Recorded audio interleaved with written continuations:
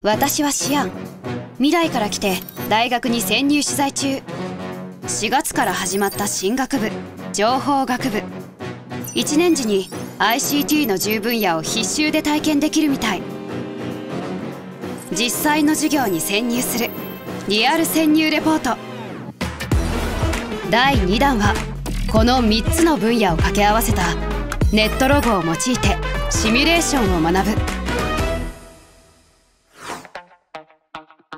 えーと、私のこの授業ではシミュレーションっていう話をメインでしていきます。シミュレーションっていうのはどういうものかというと、まあ、予測とか分析のために現実を模したモデルによって行われる仮想実験です。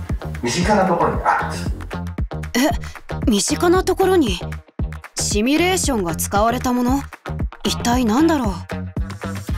ゲームやってるんだねさっきスイッチ持ってる人いたよね。とか言ってねねゲゲームってなんだろう？言ってみれば。キャラクターが動きますよね。ね敵が追っかけて攻撃するよね。あでもシミュレーションですよ。えそうなの？で他どんなのがあるの？っていうところを行きたいんだけど一番有名なのが天気予報です。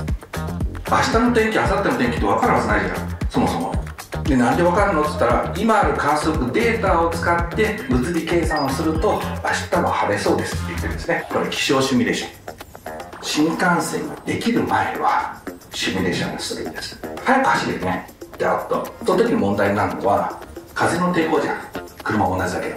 従来はフードっていう装置を使って本当に風を流してモックアップを使ってやるんですけどもお金がかかります。なのでこれを全部計算機上でシミュレーションするんです。これを流体シミュレーション。と言いますで、えー、今日使うツールなんですけどもネットロモっていうやつ。ネットロモ。自然現象とか社会現象をシミュレーションするためのプログラムのモデリング環境です、まあ、このネットロモの中にプログラムを書く。それから、えーと、その結果を見ることができるというものがここに入っているので、えー、初心者の学生には非常に有効なモデルです。で今日作ってもらうのはこういうものです。緑のパッチを食べる生物これで矢印なんですけど、ね、タートルの生態系の正解を作り。どうやって生態系モデルを作るんだろう？でこの生態系まず食べるからエネルギー歩くからエネルギーに失う。これ我々も同じですよね。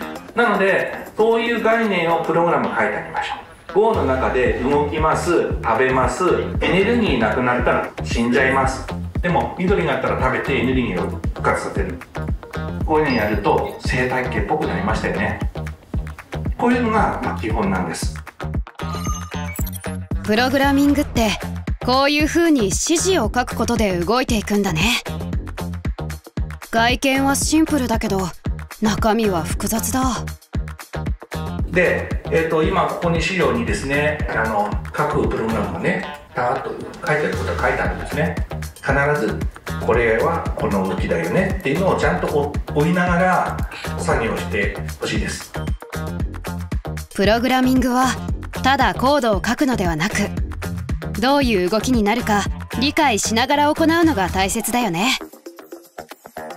であとねスイッチこれ何かって言ったらもう歩いてるだけでタートルが元気なのか元気じゃないのかよくわかんないです正直。なので、えー、そこにエネルギーが表示したらわかるよね。タートルの上に。数値として情報を見える化することで2つの相互関係がより分かりやすくなるね。もしかして緑を食べる生物の種類数を変えていったらもっと複雑なシミュレーションもできるのかな？以上で終わりにします。あの、今日の話を聞いて、シミュレーションにね、少しでも興味持ってくれること、それから来年のね、課題解決型の授業の方で、えー、ぜひ朝のと研究したいなという人は、ぜひ参加してください。草を食べる羊。その羊を食べる狼。さらに複雑なシミュレーションができそう。実際にはできないことをシミュレーションすることで可能にする。どんなことができるか想像するとワクワクするな。